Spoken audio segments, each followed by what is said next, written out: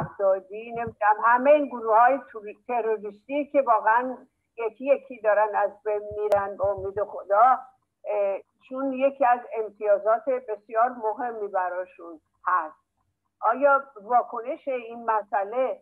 در اسرائیل هم من مقایسه می‌کنم برای که شما از اسرائیل بیشتر به ما می‌تونید اطلاعات بدید.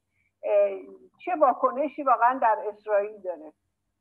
نکنید اول از همه در وهله اول آنچه که در باب اول رسوایی حزب دموکرات امریکا با انتشار ایمیل های هیلاری کلینتون که 2016 به هر حال تونست که هیلاری کلینتون رو سوال پیچ بکنه در همینطور در کنگره و به حال بگونه مال کشی شد و تونستن به گونه از نظر امنیت ملی 62 هزار تا ایمیلی که به حال که از اون 30 هزار تا میشه گفتش که که پاک شده بود رو بیان در حال حاضر بیان جستجو بکنن و اون رو پیدا بکنن. در قبال آنچه که گفته شده بود از این نظر که دخالت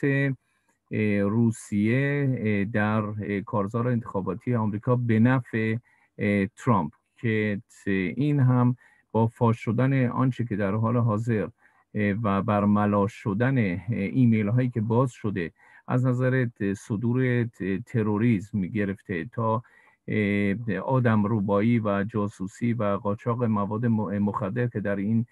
ایمیل ها در متونش آمده تقلب و دخالت هایی که در انتخابات کشورها و صدور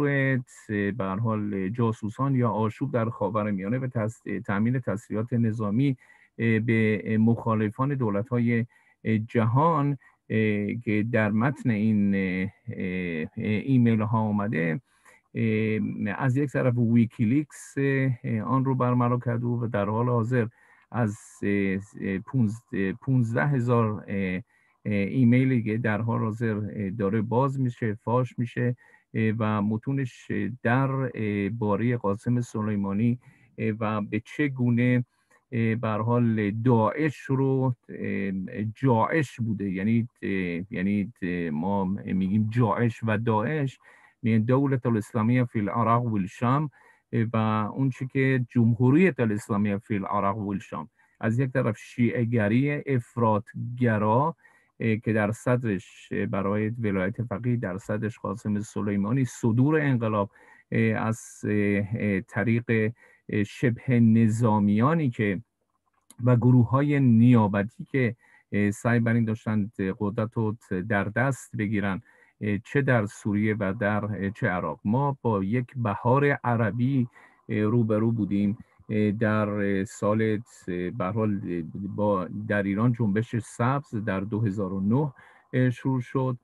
و در 2011 در کشورهای عربی که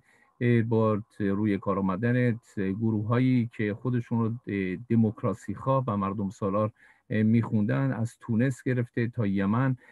از مصر گرفته و غیره و دیدیم که به چه گونه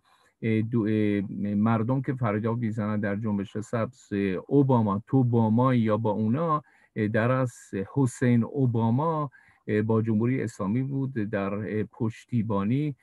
از آنچه که میگذشت و سعی بر این داشتن که آن کمربند سبز برژینسکی و اسلامگرایان و گلوبالیست ها رو